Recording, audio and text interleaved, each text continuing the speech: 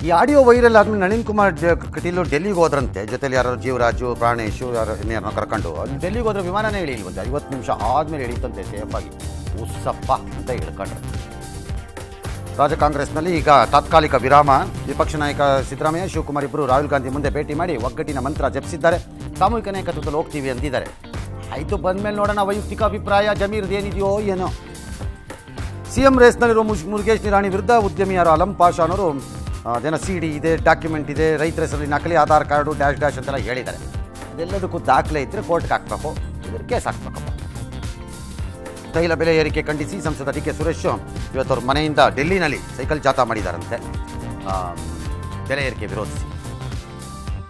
ದಕ್ಷಿಣ ಕನ್ನಡದ ಉಳ್ಳಾಳದಲ್ಲಿ ಆಂಬ್ಯುಲೆನ್ಸ್ ಸಂಚಾರಕ್ಕೆ ಅಡ್ಡಿಪಡಿಸಿದ ಕಾರ್ ಚಾಲಕ ಒಬ್ಬ ನಾಲ್ಕು ಕಿಲೋಮೀಟರ್, ಆರು ಕಿಲೋಮೀಟರ್ ಕಿಲೋಮೀಟರ್ ಗಟ್ಟಲೆ ಆಟ ಆಡಿಸ್ತಿದ್ದಂತೆ ಆಂಬ್ಯುಲೆನ್ಸ್ಗೆ ಈ ಪೊಲೀಸ್ನವರು ಹಿಡ್ಕೊಂಡು ಅರೆಸ್ಟ್ ಮಾಡಿದ್ದಾರೋ ಏನೋ, ವಶಕ್ಕೆ ತೊಗೊಂಡಿದ್ದಾರೋ ಏನೋ. ಬಿಡಬೇಡಿ, ಸರಿಯಾಗಿ, ಇನ್ನೊಂದು ಸರಿ ಹಂಗೆ ಮಾಡದೇ ಇರೋಂಗೆ ಪಾಠ ಕಲಿಸಿ ಕಳಿಸ್ಬಿಡಿ ಗ್ರಾಮ ಪಂಚಾಯತ್ ಸದಸ್ಯ, ಸದಸ್ಯರ ಕಿರುಕುಳಕ್ಕೆ ಬೇಸಿದ್ದು ಡಾಟಾ ಎಂಟ್ರಿ ಆಪರೇಟರ್ ಅಂಗವಿಕಲ ಯುವತಿ.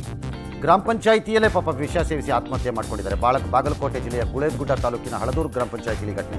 ಈಗ ನೌಕರರೆಲ್ಲ ಪ್ರತಿಭಟನೆ ಮಾಡ್ತಿದ್ದಾರೆ.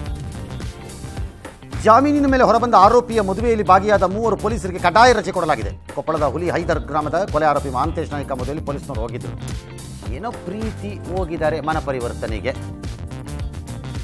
ಛತ್ತೀಸ್ಗಢದಲ್ಲಿ ನಕ್ಸಲರ ಗುಂಡಿನ ಕಾಳಗ ದಾಳಿಗೆ ಗದಗ್ ಜಿಲ್ಲೆಯ ವೀರ ಯೋಧರೊಬ್ಬರು ಹುತಾತ್ಮರಾಗಿದ್ದಾರೆ. ಲಕ್ಷ್ಮೇಶ್ವರ ತಾಲೂಕಿನ ಗೋಜನೂರಿನ ಯೋಧ, ಮೂವತ್ತೊಂದು ವರ್ಷದ ಲಕ್ಷ್ಮಣ್, ನಾಳೆ ಅವರ ಸ್ವಗ್ರಾಮಕ್ಕೆ ದೇಹ, ಪಾರ್ಥಿವ ಶರೀರ ಬರುತ್ತೆ. ಅಂತರಿಕ್ಷ ಯಾತ್ರೆಯಲ್ಲಿ ಮತ್ತೊಂದು ಮೈಲಿಗಲ್ಲು, ಈಗ ಅಮೆಜಾನ್ನ ಮುಖ್ಯಸ್ಥ ಜಫ್ ಬೇಜೋ ಮತ್ತು ಇತರರೆಲ್ಲ ಬಾಹ್ಯಾಕಾಶ ಯಾತ್ರೆಗೆ ಹೋಗಿ ಭೂಮಿಯಿಂದ ನೂರು ಕಿಲೋಮೀಟರ್ ಮೇಲಕ್ಕೆ ಹೋಗಿ ವಾಪಸ್ ಬಂದಿದ್ದಾರೆ.